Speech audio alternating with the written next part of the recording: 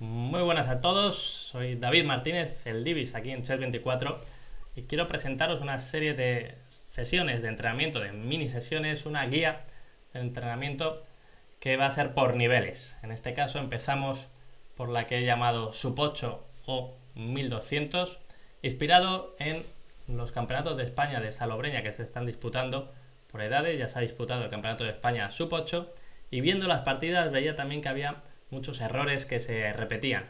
Así que también con las ganas que uno tiene de poder ayudar, de intentar que los chicos vayan mejorando, también te llegan muchas veces mensajes o ves a muchos eh, padres y madres con la ilusión de intentar ayudar a su hijo y quieren que reciban un entrenamiento, pues digo, bueno, vamos a intentar poner desde Chess 24 nuestro granito de arena. Aquí vais a ver una serie de vídeos donde sacando partidas de esos mismos campeonatos. No voy a decir los nombres, pues porque quiero que lo tomemos como si fueran nuestras, ¿no? Vamos a imaginar que esas mismas posiciones las tuviéramos nosotros en las partidas.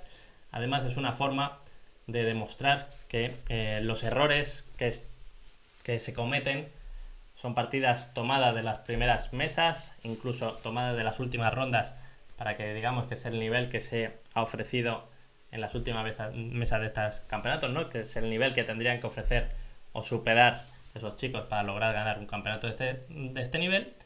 Así vamos aprendiendo, vamos a ir mejorando, vamos a ir comentando cómo superar esos errores, cómo mejorar el ajedrez, cómo trabajar más adelante e intentar también hacerlo de forma entretenida.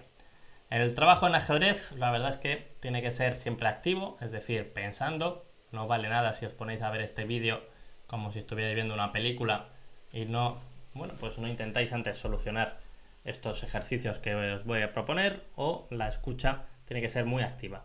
Por eso, por favor, cuando digo darle al pause, darle y poneros ahí a pensar e intentar resolver. Luego intentamos que en la explicación quede claro el proceso que tenéis que seguir para resolver estos ejercicios y de esta forma lo podéis luego aplicar ya sea resolviendo más ejercicios por vuestra cuenta en el entrenador de táctica, cuando juguéis en vuestras partidas acordaros de intentar pensar como aquí decimos y poco a poco iréis automatizando todo para ir aumentando el nivel de vuestro razonamiento y nuestro pensamiento.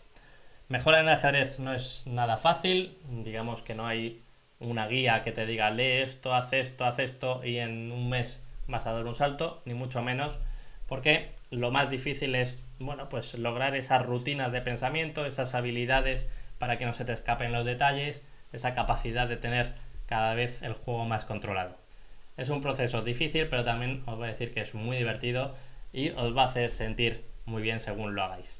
Voy a intentar poner lo mejor de mí en todos estos vídeos, creo que realmente os van a servir, así que bueno, sin más, eh, invitaros a que los veáis y dejéis vuestra opinión. Un saludo y vamos a ello.